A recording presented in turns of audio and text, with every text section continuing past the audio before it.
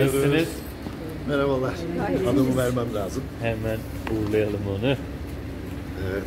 Hayırlı olsun Nasılsınız? diyerek başlayalım. Teşekkür ederiz. Sağ olun. Teşekkür ederiz. Nasıl geçti? Çok Güzel, güzel bir. geçti. Çok güzel geçti. Sağlığı yerinde. Benim de öyle. Çok güzel. Kaç kilo boyu birazcık bahsedebilir miyiz? Benim kadar var yüzden- Aynı abisi gibi. Evet evet çok çok benziyor. Aynen. Onun, onun bebekliğine çok benziyor. Bir tanışma oldu mu ikisi arasında? Oldu, Geldi mi, oldu, gördü oldu, mü? oldu tabii. Zaten merakla onu bekliyordu. nasıl? Müthiş. Bizi de şaşırttı açıkçası.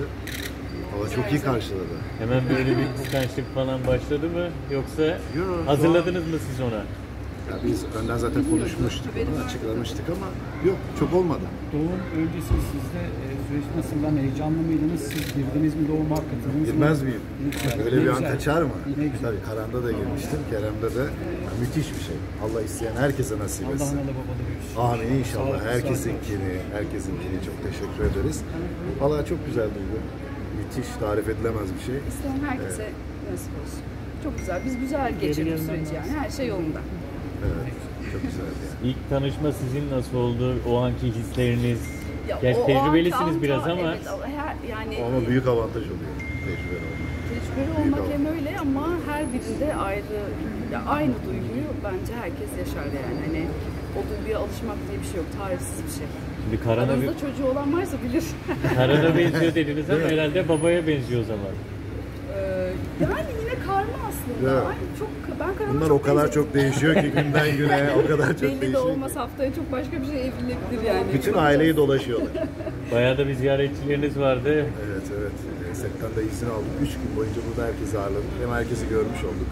Hem de güzel bir şey oluyor yani. Görüşme oluyor bizim için. de. Şeyi soralım. E, Karan'a bir dönem e, sosyal medya hesap açmıştınız. Bebişe de önümüzdeki günlerde öyle bir sürpriz yapar mısınız? Düşünüyor musun? Bilemeyiz yapabilirim. O- ya da ortak hesap mı?